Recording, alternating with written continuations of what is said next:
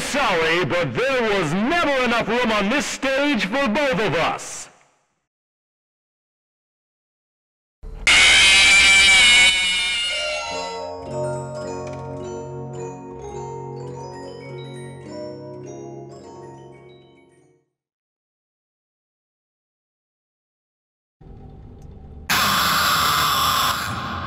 Well, uh, it seems that your journey has ended. Very sorry about that. It was was always going to end this way, of course. If it weren't by me, it would have just been by some other, you know, terrible thing. Just you could not imagine how terrible it would be. Just I get scared thinking about it. I'm glad it's not me. It reminds me of a of a time I was speaking to my good friend Orville. We were we were sitting on a park bench watching the pigeons. I was on the left, he was on the. Oh, wait, was I on the right or left? Anyways, it doesn't matter. We were sitting on there watching the pigeons. And uh, I, I said to Orville, Friend, those birds are frozen. And he kind of looked at me like I'd lost my mind. But I reminded him that it was winter, you know, and often birds will sit in a tree until they freeze. And then they, they you know, sort of fall to the ground until the sun warms up and, and they can, you know, move around again. So I said to Orville, You'd might as well save those breadcrumbs until the birds thaw, because they can't very well enjoy them in the condition they're in. To which he asked what I meant, and asking what condition the crumbs should be in before he threw them to the birds, assuming that I meant the birds couldn't enjoy the breadcrumbs in the condition that the crumbs were in, when in fact I had meant the birds could not enjoy them in the condition that the birds were in, considering that the birds were frozen. You know, so he took a moment and then threw his last handful onto the ground. I said to him, Orville, why did you throw the breadcrumbs to the birds when I just told you they're frozen?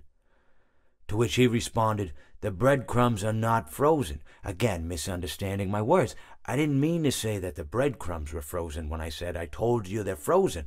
I'd been referring to the birds. You know, in hindsight, what, what I should have said was, and this would make perfect sense, why did you throw the breadcrumbs to the birds when the birds are frozen? He misunderstood upon my correction, stating that he didn't know what else to do with the breadcrumbs, and that perhaps, you know, when the birds thawed, they'd still be able to eat the crumbs. So I, I, I said to Orville, I said, and this is what I said to him, I said, Orville, the birds may be dead.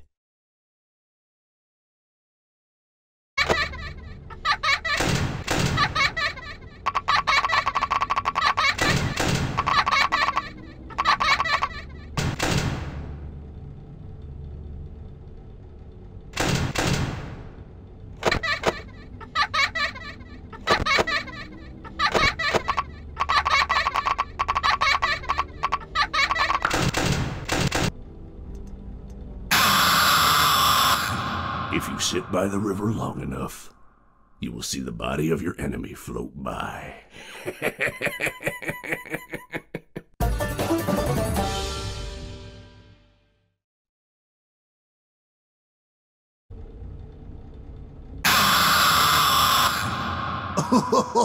I was just waiting for you to drop your guard.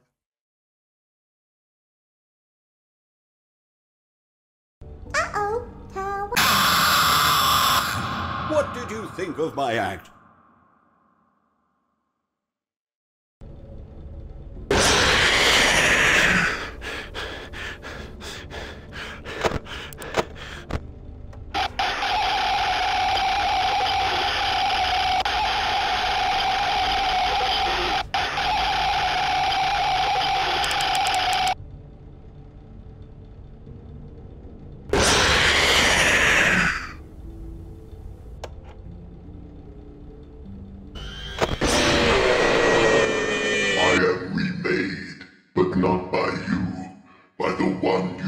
You not have killed.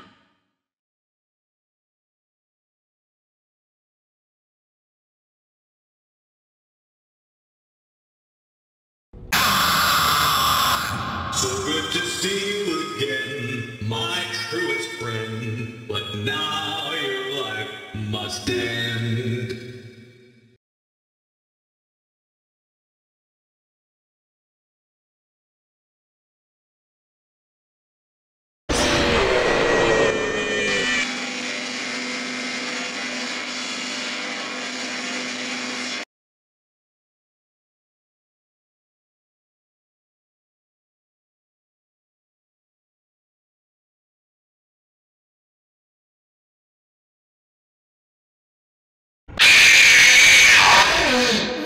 Something bad happened.